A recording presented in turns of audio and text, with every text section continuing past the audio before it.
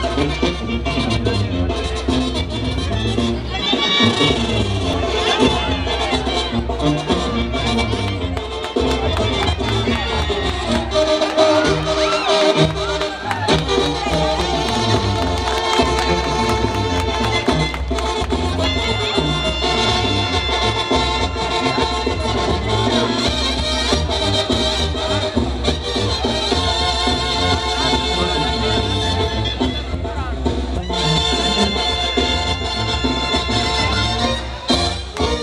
señores, ya llegó Carranza, ya llegó la hora de Carranza. Por ahí dijo el amigo Alejandro.